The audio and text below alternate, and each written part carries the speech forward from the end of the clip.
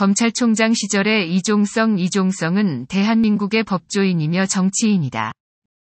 해방 후 검찰총장과 대법관, 국회의원을 역임하였다. 이종성은 1890년 서울에서 태어났다. 1914년 보성전문학교 법과를 수석 졸업하고 1922년 제1회 조선 변호사 시험에 수석 합격하였다. 22일동 아일보 제707 13호 보성 전문 동기동 창인 허정과 각별한 관계였으며 장택상, 전구영, 조병옥과도 평생 우정을 나누었다. 추당 박호병이 그의 장인이다. 일제강점기 독립운동 사건을 맡아 항일변론 최일선에 나서 김병로, 허헌, 이인 등과 함께 항일민족 변호사로 활동했다.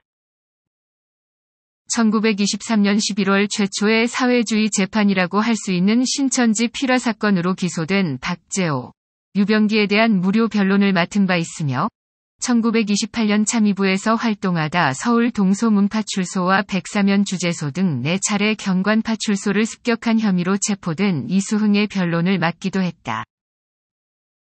1928-1929년에는 대한통일부 소속으로 독립운동 군자금을 마련하다 체포된 유택수 유순수 형제의 재판에서 그의 명별로는 재판장, 검사를 포함 재판정 내 모든 사람을 감동시킨 것으로 유명하다.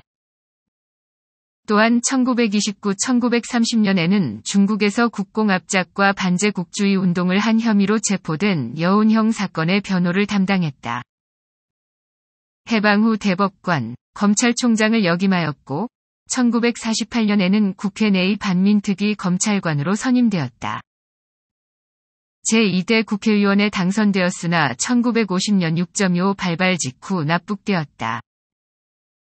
증언 1970년 장남 이상우 증언 1979년 10월 30일 샘터사 발간 허정 회고록 내일을 위한 증언 그러나 북한에서 그의 별세를 서거라고 높이며 평양 룡성의 제북인사의 묘에 안치되어 있는 것으로 인해 월북인사로 오인되기도 했다.